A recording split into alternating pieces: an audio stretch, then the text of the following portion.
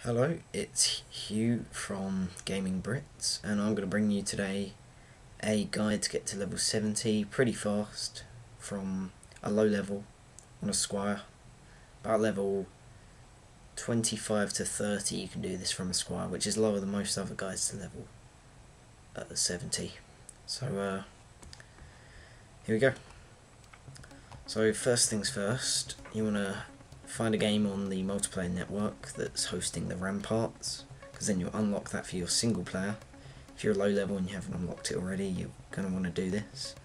Then you want to make yourself a private match, create your own game. There we go. Then you're going to want to choose Ramparts to do, which is in the last page of campaign and you're going to want to choose hard. You can do this at level 25 to 30, it just requires some different tactics. So press go there.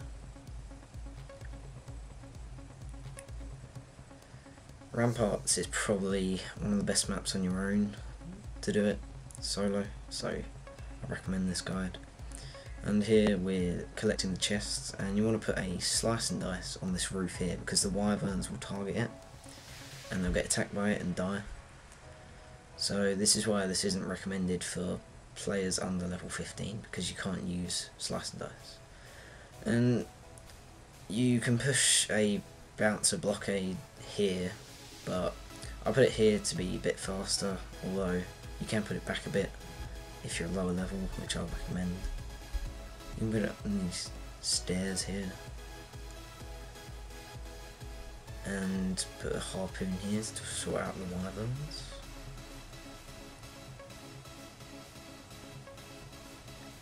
Then get all the chests and finally put a slice and dice on the main door here. Quite close because you want it to get over and done with quickly because that's the point of leveling fast. And then finally press G and get it done with. First wave should be pretty easy no matter what level you're at this tactics.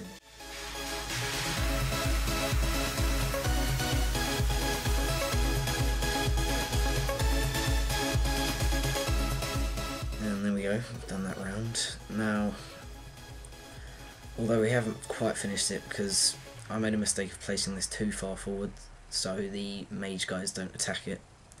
So it can't get attacked, so you have to go sort him out. Make sure you don't get hit though, because that can uh, make your score a lot less at the end of the round. So sail this one, put a crossbow turret here, facing that way, and then a bowling ball turret behind it. I recommend uh, trying to max a bit of area effect for lower levels because the bowling ball turrets can reach them. And here we're placing a slice and dice in front of two bowling ball turrets. Again, area of effect, what it does is it just helps the range so they won't reach the slice and dice, which is just safer for a lower level. High level, your damage will usually do the work so you won't need it.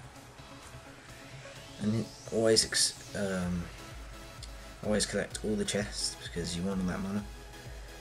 And I tend to put crossbow up here because I've had wyverns get over and attack crystal and that ruins some of your scores, so you always want to be careful, and you do have enough score to do that. Collect all of the mana that all the mobs dropped. And here, I sold it accidentally. I shouldn't have done that because you can keep that there to stop the uh, jumping guys getting to your vulnerable turrets and just hitting them from behind.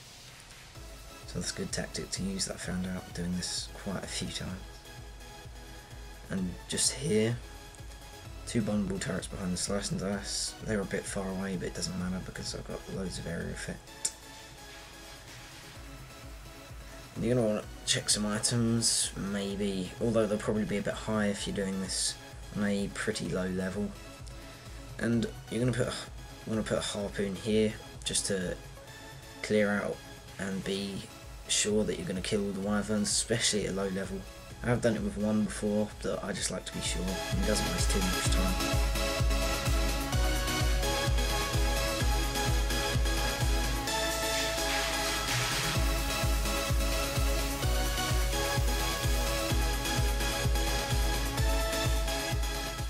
And there we are, done that wave pretty fast.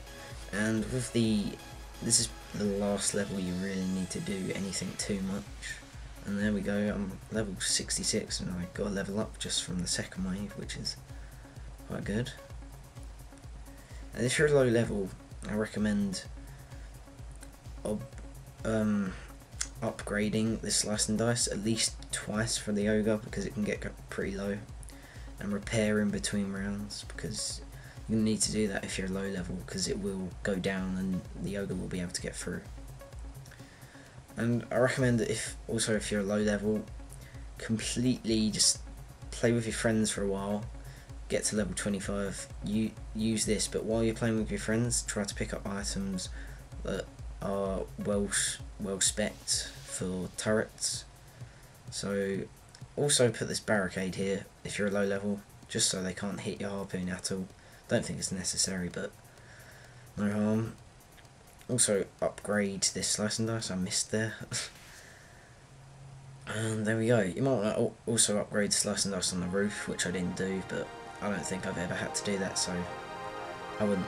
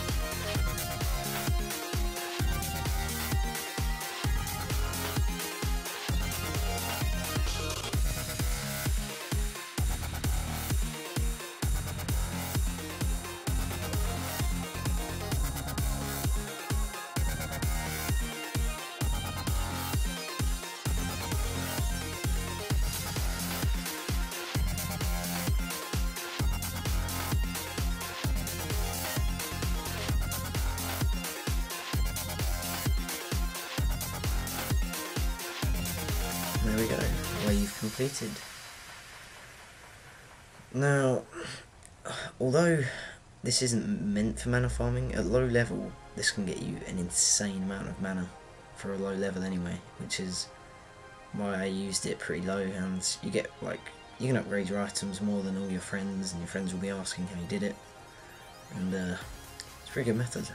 So definitely recommend you to try it out and just go around, collect some of the items, collect all the mana you can, collect items you need, and uh, finally return to Tavern.